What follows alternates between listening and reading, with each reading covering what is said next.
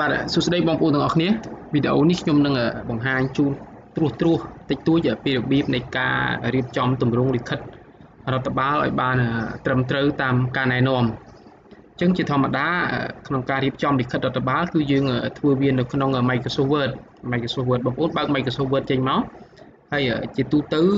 ក្នុងការណែនាំគឺត្រូវមានការកំណត់ទម្រង់กระดาษដើម្បីងាយស្រួលក្នុងការព្រីនឯកសារទៅមិនមានការវាចឬ មិនបានត្រឹមត្រូវអញ្ចឹងបងប្អូនចង់កំណត់ទម្រង់กระดาษបងប្អូនចូលទៅក្នុងផ្នែកខាងលើនេះបាទនៅមីនុយខាងលើនេះបងប្អូនរាប់មក layout នេះបាទ layout នេះចុច layout នឹងបាច់ហើយមើលកន្លែងនេះ size នេះគឺទម្រង់ទំហំกระดาษបងប្អូនចុចទៅ size ហ្នឹងមកហើយ select យក A4 A4 នេះគឺប្រភេទกระดาษរាមធម្មតាហើយអាឡែងនេះគឺសម្រាប់កំណត់กระดาษផ្ដេកឬបញ្ឈរអញ្ចឹងបងប្អូនត្រូវការกระดาษបញ្ឈរឬផ្ដេកអាចចុចនៅទីនេះ ហើយ margin នេះគឺសម្រាប់កំណត់រឹមទំព័រនេះមានស្រាប់យើងចង់កំណត់តាមការណែនាំជាដើមបងប្អូនចូលទៅក្នុងនេះខាងក្រោមគេនេះ custom margin នេះចុចអាហ្នឹងមកហើយបំពេញខ្លួនឯងទៅដែលបំពេញខ្លួនឯងទៅកុំព្យូទ័រខ្ញុំលោតស្រាប់តែម្ដងគឺខ្នាតវាកំណត់ជាសង់ទីម៉ែត្រកុំព្យូទ័របងប្អូនមួយចំនួនលោតលោតអ៊ីងនៅកន្លែងនេះតិចទៀតខ្ញុំនឹងប្រាប់ថាត្រូវធ្វើដូចម្ដេច ចឹងអាកន្លែង top នេះគឺផ្នែកខាងលើខាងលើតាមការណែនាំនេះខ្ញុំសូមមកយកតាមការណែនាំរបស់ក្រសួងអប់រំទេខាងលើគឺយក2សង់ទីម៉ែត្របងប្អូនដាក់លេខ2មកហើយដក clear តិចមកដាក់អក្សរ cm ហើយ bottom នេះខាងក្រោមដែលខាងក្រោម2សង់ទីម៉ែត្រខាងឆ្វេង2.5សង់ទីម៉ែត្រហើយខាងស្ដាំនេះគឺ2សង់ទីម៉ែត្រអញ្ចឹងចុច OK មកបងប្អូនអាចអាចអាចអាចកំណត់យកទម្រង់នេះសម្រាប់ default ឬក៏រហូតពេលបើកមកចេញបែបហ្នឹងក៏បានបងប្អូនចុចកន្លែងខាងក្រោមនេះ set as default នេះហើយបើសម្រាប់តែមួយទំព័រនេះទេបងប្អូនយកតែពាក្យ OK នេះមកអញ្ចឹងខ្ញុំយក OK នេះហើយបំបញ្ញមិញកុំព្យូទ័រខ្ញុំគឺជាប់ຂະຫນາດសង់ទីម៉ែត្រតែម្ដងអញ្ចឹងសម្រាប់កុំព្យូទ័របងប្អូនដែលអត់ជាប់ຂະຫນາດសង់ទីម៉ែត្រជាប់អ៊ីងពិបាកបងប្អូនអាចចូលទៅដូរវាបានទេបងប្អូនមកលេខ file នេះមកបែរមកលេខ file នេះមកហើយបងប្អូនយកពាក្យ option នៅខាងក្រោមនេះបែរ option នៅខាងក្រោមនេះបាទខ្ញុំចាំបន្តិចវាចេញបែបហ្នឹងមកនេះចេញចេញចេញអា ទម្រង់បែបនេះបែបបងប្អូនចុចលើពាក្យ advance នេះ advance នេះបែបបន្ទាប់មកទាញវាមកក្រោមមកបែបបងប្អូនទាញវាមកក្រោមមកបាទមកក្រោមតិចទៀតមកនេះបាទទាញវាមកក្រោមតិចមកនេះនេះបងប្អូនមើលនេះនេះនេះកន្លែង display នេះនេះកន្លែងនេះបងប្អូនយើងប៉ះលើហ្នឹងមកប៉ះលើហ្នឹងមកនេះអ៊ីងនៅខាងលើហើយសង់ទីម៉ែត្រដល់ទី2បងប្អូនចុចលើសង់ទីម៉ែត្រហ្នឹងមកហើយចុចពាក្យថាអូខេបែបជាការស្រេចមួយទៀតនៅលើ របាខាងលើនេះកុំព្យូទ័រខ្ញុំមានបន្ទាត់កុំព្យូទ័របងប្អូនខ្លះអត់មានបន្ទាត់ទេអញ្ចឹងអារបៀបដាក់បន្ទាត់ហ្នឹងអឺបងប្អូនចូលទៅក្នុងនេះ view នេះបែប view នេះចូលទៅក្នុង view នេះហើយនេះនេះយកអា roller នេះ roller នេះគឺឲ្យវាចេញបន្ទាត់ហើយបើខ្ញុំដោះ tick ក៏នឹងបាត់នឹងបាត់បន្ទាត់នេះអញ្ចឹងដាក់បន្ទាត់ហ្នឹងទៅដើម្បីងាយស្រួលបងប្អូនចូលកន្លែង view ហើយចុចសេរីកន្លែង ruler បែបវានឹងចេញបន្ទាត់ហ្នឹងមកហើយនេះនៅខាងលើនេះអញ្ចឹង នេះយើងបានតម្រង់กระดาษរួចហើយអញ្ចឹងយើងចាប់ផ្ដើមវាឯកសារយើងមកបើចាប់ដើមវាឯកសារយើងមកជាធម្មតានៅខាងលើគឺបើវចនាជាតិដាក់នៅចំកណ្ដាលណាអញ្ចឹងបងប្អូនឲ្យវាយទៅបាទ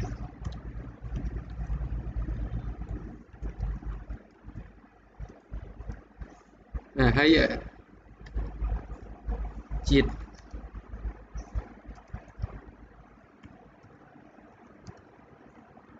បាទ អញ្ចឹងបងប្អូន select ទៅចង់បាន font អីបងប្អូនចូលមកកន្លែងហ្នឹងមកបាទកន្លែងបដូរនេះខ្ញុំជឿថាបងប្អូនតែចេះហើយអញ្ចឹងយើងយកខ្មែរ S Mulai ហើយយកទំហំ12បាទ12បងប្អូនឃើញកម្រិតវាធំនេះបាទកម្រិតធំបែបនេះបងប្អូនចូលមកក្នុងអឺ home នឹងមកហើយនេះមកប៉ះមកប៉ះអារូបព្រួយព្រួយនេះបាទរូបព្រួយព្រួយដែលខ្ញុំដាក់ម៉ៅនេះតែប៉ះលើអាហ្នឹងមកនេះឲ្យបងប្អូនប៉ះយកកន្លែងនេះមួយ មួយមួយចន្លោះមួយនេះមកបងប្អូនចុចលើចន្លោះមួយហ្នឹងហើយនៅតែធំទៀតនៅតែធំទៀតបងប្អូនប៉ះទៅកន្លែងហ្នឹងដដែលហើយយកពាក្យនេះ line spacing option នេះបើចុចលើ line ហ្នឹងហើយបងប្អូននេះមើលនេះនេះវាជាប់8នេះអញ្ចឹងចន្លោះគ្នា8បងប្អូនដាក់វា0មកបែរដាក់វា0មកហើយវារីសនៅត្រង់នេះមកហើយចុចពាក្យថាអូខេអញ្ចឹងវាគៀកគ្នាហើយវាគៀកគ្នាហើយ enter មកដល់ពេលខាងក្រោមនេះគឺត្រូវដាក់នៅខាងឆ្វេងវិញម្ដងបាទសុំទោស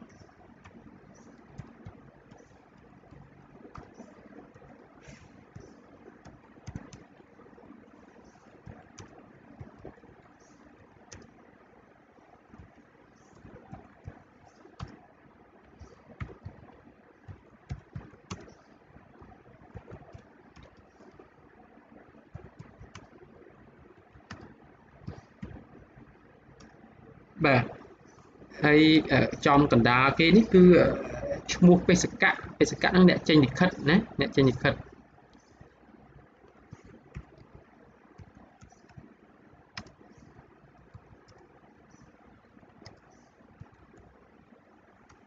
ជួរកណ្ដោជួរជួរខាងក្រោមនេះបន្ទាប់ពី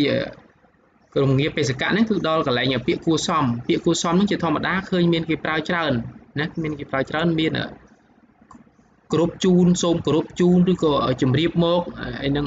ជំរាបជូនអីជាដើមអញ្ចឹងអាអាពាក្យថាគោរពជូនណាគោរពជូន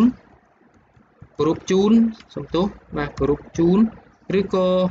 សូមគោរពជូននេះបាទគោរពជូនឬសូមគោរពជូននេះសម្រាប់បេសកៈមានន័យថាអ្នកចេញលិខិតហើយនិងអ្នកទទួលលិខិតហ្នឹងអឺមានឋានៈផ្សេងផ្សេងគ្នាឧបមាថា គោរពជូនហ្នឹងគឺក្នុងន័យបហបហែលគ្នាឬក៏អ្នកទទួលលិខិតហ្នឹងធំជាងហើយសូមគោរពជូនហ្នឹងបើគោរពជូននិងសូមគោរពជូនហ្នឹងមានមួយទៀតគឺនេះអឺជំរាបជូនបាទជំរាបជូនឬក៏ជំរាបមកបាទជំរាបមកជំរាបជូនឬជំរាបមកនោះគឺសម្រាប់អ្នកដែលទទួលលិខិតហ្នឹងមានឋានៈតូចជាងដែលតូចជាងអ្នកចេញលិខិតហើយ គោរពជូនឬសូមគោរពជូននេះគឺសម្រាប់អ្នកទទួលលិខិតហ្នឹងមានឋានៈប្រហាក់ប្រហែលឬក៏ធំជាងអ្នកអ្នកចេញលិខិតបាទអញ្ចឹងដោយសារលិខិតនេះទៅថ្នាក់លើខ្ញុំសូមប្រើពាក្យថាសូមគោរពជូនអត់សូមគោរពជូនហើយខាងក្រោមនេះយើងវាយពាក្យអ្នកទទួលលិខិតបាទគុំជននោះលោក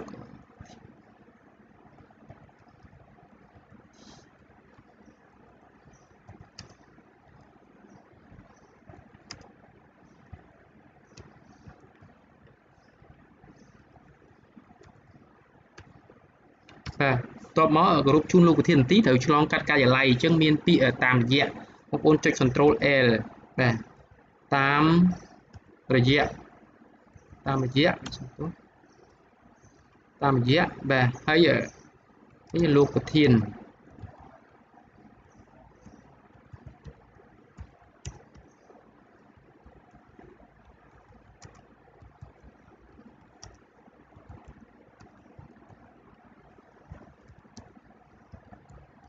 កន្លែងនេះ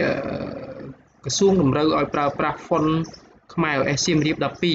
អញ្ចឹងយើង select យក font មកខ្មែរ OS សៀមរាប12បាទហើយកន្លែងនេះកន្លែងពាក្យថាតាមរយៈតាមអីនេះគឺតាមការណែនាំឲ្យប្រើប្រាស់ខ្មែរ OS បូកូខ្មែរ OS បូកូ12អញ្ចឹង select យកខ្មែរ OS បូកូនឹងមកដែលយើងរកមើលខ្មែរ OS បូកូនឹងទៅ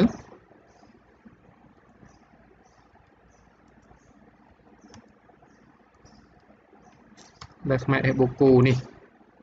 កន្លែងនេះមានលក្ខណៈសំខាន់ដែរឧបមាថាបាទខ្ញុំសុំទៅមកជួទៀតដើម្បីងាយមើលតែម្ដងយើងមានពាក្យថាអីយោងយោងអីចឹងណាសំទោសបើយើងមានប្រើពាក្យយោងអីចឹងមកណាយោងហើយឧទាហរណ៍ណាលិខិតលិខិតលេខលេខអីចឹងមកបាទចុះថ្ងៃទី ចុះថ្ងៃទីប្រមាណខែអីចឹងដែលឆ្នាំអីចឹងមកហើយខ្លឹមសារលិខិតហ្នឹងត្រូវចុះទៅជួរក្រមអញ្ចឹងអាកន្លែងជួរក្រមនោះគឺมันអាចឲ្យវាមកស្មើជាមួយនឹងពាក្យយោងហ្នឹងទេណារបស់ណារបស់ក្រសួងអប់រំយុវជន និងកីឡា ស្ដីពីអីចឹងមកបាទស្ដីពីអីចឹងមកនេះបងប្អូនមើលនេះនេះអាជួរក្រមកន្លែងកន្លែងយោងនេះជួរក្រមកន្លែងយោងនេះបើកន្លែងនេះអាជួរក្រមជួរក្រមកន្លែងយោងនេះគឺអត់ត្រូវឲ្យមកស្មើជាមួយនឹងកន្លែងយោងនេះទេគឺត្រូវចាប់ដើមស្មើត្រឹមកន្លែងពាក្យថាលិខិតនេះអញ្ចឹងបងប្អូនយើងចូលទៅខាងលើនេះចូលទៅខាងលើនេះបាទនេះអាកន្លែងយោងបងប្អូនដាក់ដាក់ ម៉ៅហ្នឹងមកចំកន្លែងខាងខាងខាងដើមពាក្យយូងហ្នឹងមកនេះនេះបាទសំទោសមែននេះខាងខាងដើមពាក្យយូងមកបងប្អូនមកនេះអញ្ចឹងមកលើនេះនេះអាដូចរូបកូនជីងអាលើនេះគឺអក្សរចាប់ដើមមកជួរក្រោមនេះគឺអក្សរក្នុងការសរសេរអញ្ចឹងបងប្អូនទាញវា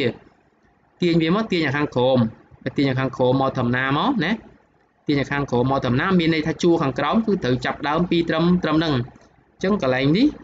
យោងនេះបងប្អូនវាយយោងហើយដាក់សញ្ញាអីចឹងមកហើយថេបមួយមកអញ្ចឹងវាមកប៉ុណ្ណឹងទៅពេលជួរក្រោមចុះមកគឺចាប់ដើមត្រឹមនេះដែរបែរត្រឹមនឹងដែរអត់មានមកស្មើជាមួយនឹងជួរខាងក្រោមមកស្មើជាមួយពាក្យថាយោងនឹងទេពាក្យថាយោងនឹងទេតើពីយើងកំណត់បែបហ្នឹងហើយខាងក្រោមក្រោមវានឹងលោតទៅខ្លួនឯងតែម្ដងណាឧទាហរណ៍ណាកម្មវត្ថុកម្មវត្ថុកម្មវត្ថុដាក់ហ្នឹងមកវាយ tab មួយមកបាទកម្មវត្ថុអីគេ របាយការណ៍របាយការណ៍ស្ដីពីអីចឹងមកបែររបាយការណ៍ស្ដីពីអីចឹងមកហូហាយចឹងមករបស់នេះវិទ្យាល័យរបស់វិទ្យាល័យណានេះអញ្ចឹងអាជួរក្រមនេះគឺវានៅស្មើត្រឹមនឹងតែម្ដងបាទស្មើត្រឹមនឹងតែម្ដងនេះគឺបែបបទលិខិតរដ្ឋបាលយើងមានកន្លែងហ្នឹងកំណត់បែបនេះ ដែលវាងាយស្រួលដែរងាយស្រួលដែរទេបងប្អូនមួយចំនួនអត់បានដឹងខ្ញុំធ្វើវីដេអូនេះដើម្បីបង្ហាញជូន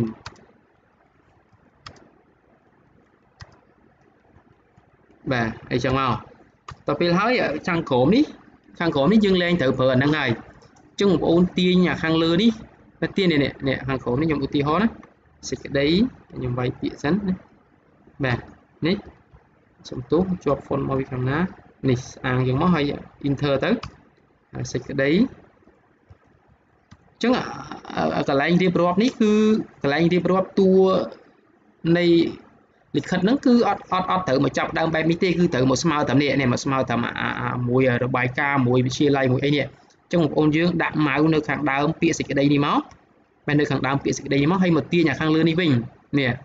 មកទាញអាបន្ទាត់ខាងលើនេះមានន័យថា អាហ្នឹងគឺពេលចាប់ដើមអញ្ចឹងពេលចាប់ដើមឲ្យវាមកស្មើជាមួយនឹងអានេះណាមកស្មើជាមួយនឹងមកហើយអានេះជួរខាងក្រោមមកអូនទាញវាត្រឡប់មកដល់ខាងគៀននេះវិញណាអាក្រោមនេះទាញវាត្រឡប់មកហើយអាខាងដើមនេះឲ្យវាមកស្មើបងប្អូនដាក់បន្ទាត់ដើម្បីងាយមើលបែបហ្នឹងដាក់បន្ទាត់ខាងលើហ្នឹងអញ្ចឹងវាស្មើតាមណាតាមប៉ុណ្្នឹងមកយើងបានដាក់ហើយបាយមកសេចក្តីដូចបានគោរពជំរាបជូនអីចឹងបាទអីចឹងហូហែមកណា អីចឹងហូហែខ្ញុំខ្ញុំបាទ